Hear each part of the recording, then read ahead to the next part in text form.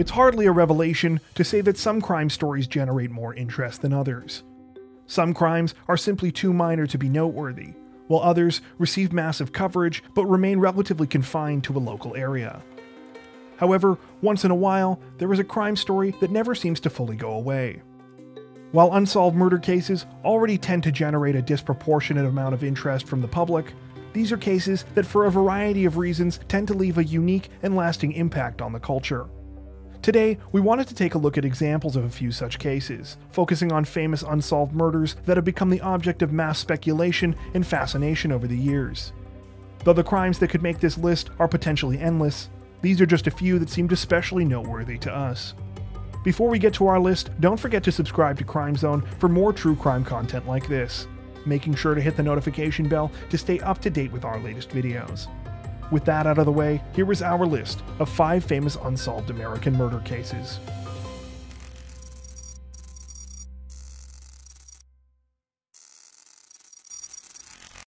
On the night of December 28, 1956, 15 year old Barbara Grimes and her 12 year old sister Patricia went to a screening of the Elvis Presley film Love Me Tender. The Brighton Park Theater, where the movie was playing, was about a mile and a half from the girls' family home on the southwest side of Chicago.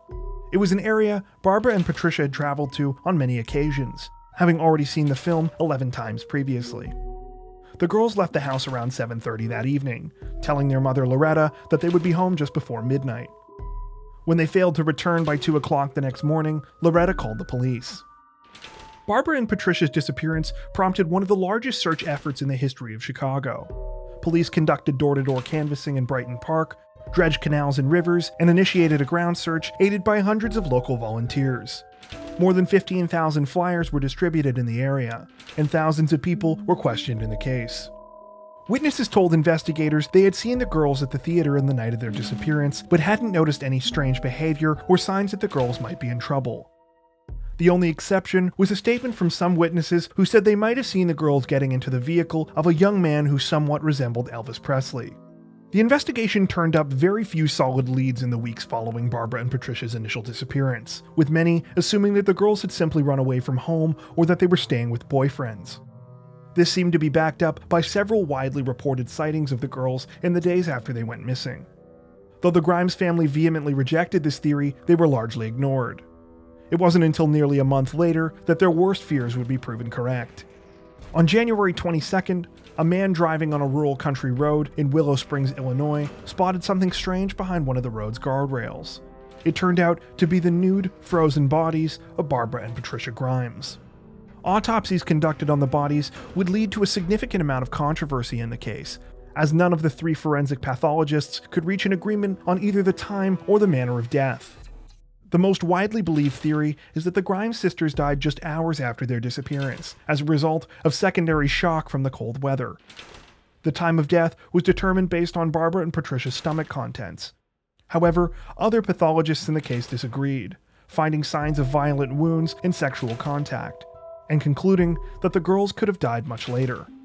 These discrepancies have never been definitively resolved. In addition to the problems identifying a time and cause of death, investigators discovered no real evidence at the location where the bodies were found. However, it is reported that law enforcement may have severely contaminated the crime scene by allowing volunteers and other untrained people to walk through the area. Though the police had several suspects in the case, including more than one who confessed to the murders, they later recanted these confessions and said they were only given as a result of brutal police interrogation techniques.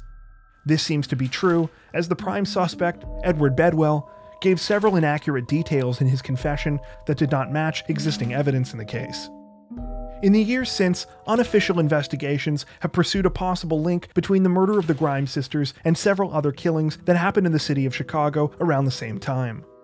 Despite this, the murders remain unsolved and continue to be one of the city's most notorious cases of all time.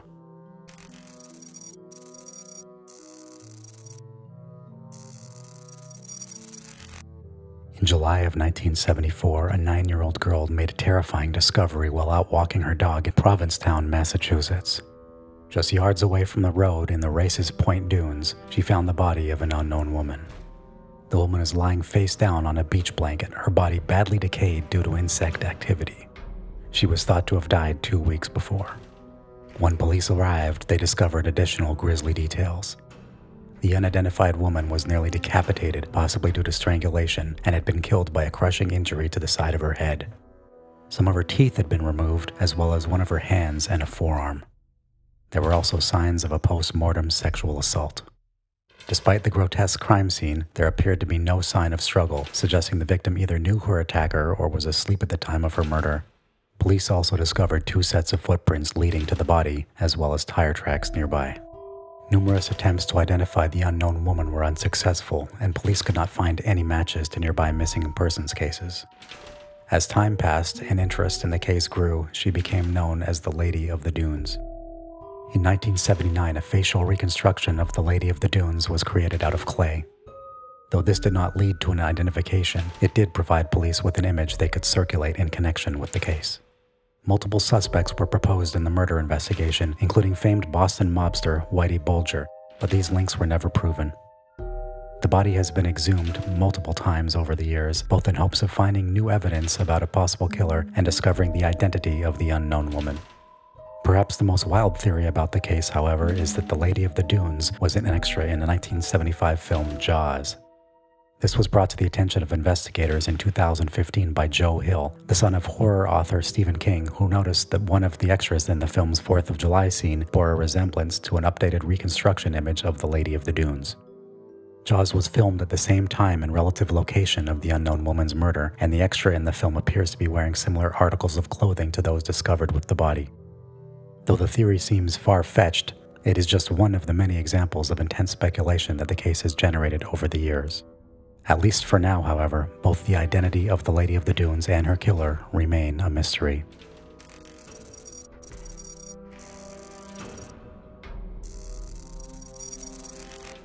On January 13, 1996, nine year old Amber Hagerman went on a bike ride with her younger brother Ricky. The two set off for an abandoned grocery store parking lot near their home in Arlington, Texas.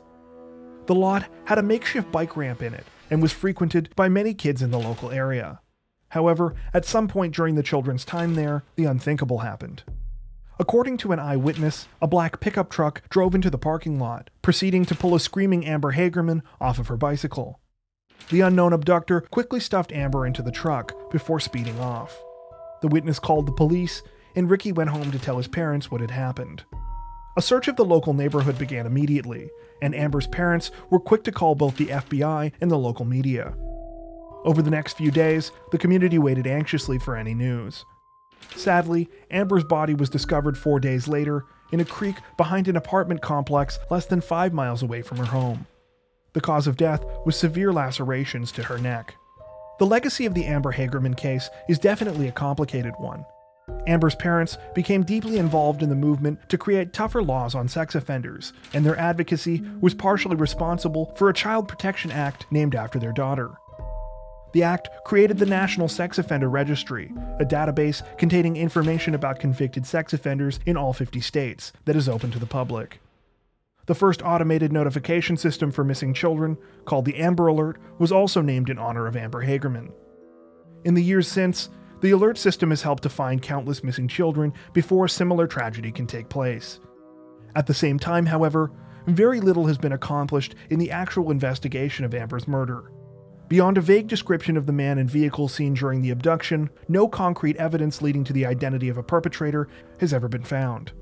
Sadly, the murder of Amber Hagerman remains unsolved.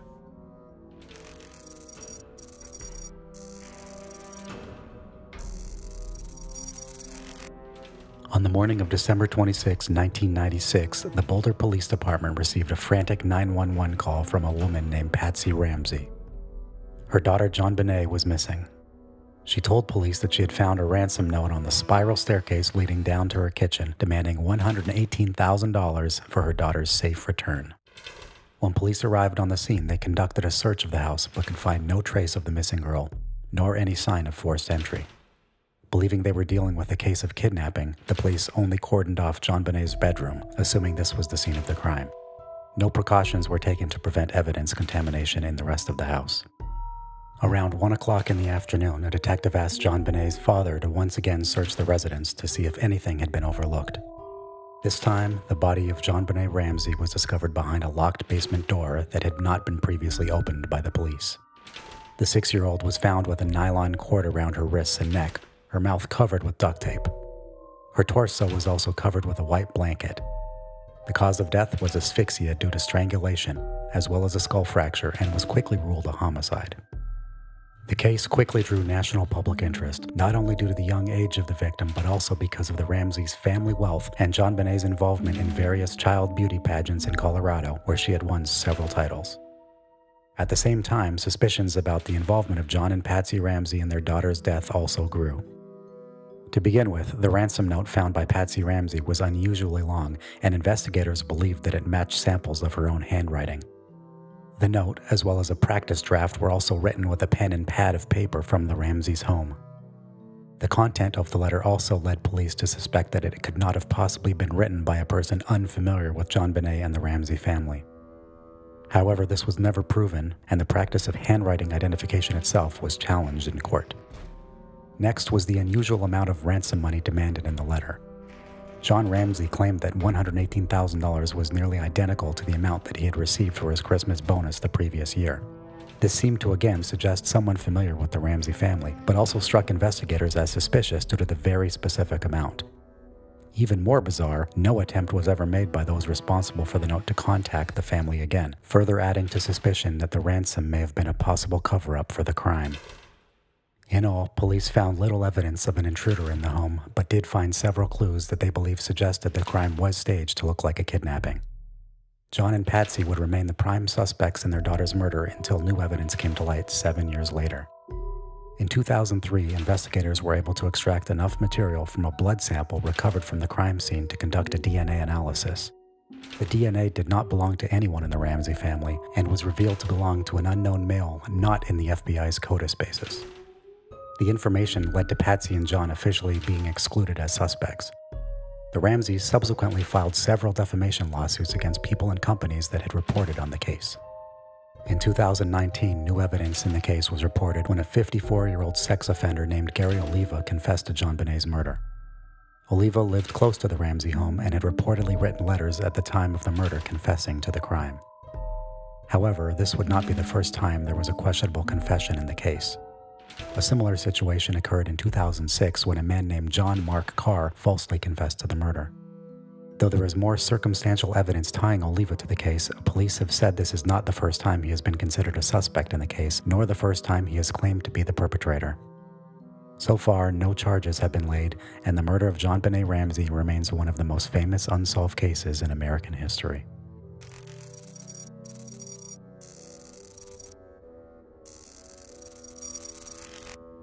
The murder of Elizabeth Short has endured in the culture like few other American crime stories. Its combination of brutality and mystery has made it one of the most well known murder cases to this day, despite taking place over 70 years ago. Short lived in Los Angeles, California, where she is widely reported to have been an aspiring actress. She worked as a waitress and was known to frequent jazz clubs, where she would often befriend many men. Short was last seen on January 9, 1947, after she returned from a brief trip to San Diego with a salesman she had been dating. She was dropped off at the Biltmore Hotel in Los Angeles, where she was supposed to meet her sister later that afternoon. Some staff would later say they observed Short using the telephone in the hotel's lobby. She was also spotted by guests at a local cocktail bar less than a mile away from the Biltmore. Little is known about Short's disappearance, or the week leading up to the discovery of her murder. On the morning of January 15, 1947, a local woman named Betty Bersinger found the body of Elizabeth Short in a vacant lot while on a walk with her three year old daughter. Details of the gruesome crime scene would become the subject of unending fascination with the case. Short's body was fully severed at the waist and had been completely drained of blood before being placed. The upper body appeared to be posed, with the hands over the head and the elbows bent at right angles. The entirety of the body was also badly mutilated, and in several areas, flesh had been cut away entirely. Short's face had also been slashed from the corner of her mouth to her ears, creating a horrifying wound in the shape of a smile. The cause of death was determined to be hemorrhaging from the cuts to her face, as well as shock from several blows to the head. Short was identified using fingerprints from an earlier arrest for underage drinking, and the case was quickly descended upon by the press once her name was released. The sensationalism surrounding the story drew intense interest, and the nickname the Black Dahlia began being widely reported in the news. There was ample dispute regarding the origins of this name, however. Roughly a week after the murder, a person claiming to be the killer contacted the Los Angeles Examiner, saying that he planned to turn himself in but wanted to let the police pursue him further. He also told the newspaper to, quote, expect some souvenirs of Beth Short in the mail. On January 24th, a strange manila envelope was discovered by a U.S. postal worker. It was addressed to the LA Examiner. Inside was a message composed from cut and pasted newspaper clippings that read, quote, Here is Dahlia's belongings. The envelope also contained Elizabeth Short's birth certificate, business cards, photographs, and an address book with the name Mark Hansen on the cover. Much like Short's body, the contents of the envelope had been carefully cleaned in order to remove any fingerprints. Mark Hansen was a nightclub and theater owner who was also an acquaintance of Short's. Though he had a motive for her murder, allegedly having his sexual advances denied by Short, Hansen was eventually cleared of suspicion in the case. Over 150 additional suspects were also considered in the investigation, but they too were either eliminated or considered to have insufficient evidence tying them to the murder. The investigation was further complicated by the many unsubstantiated stories about the killing that were circulated by the press. To this day, these stories have created lasting disputes and inconsistencies in the public record.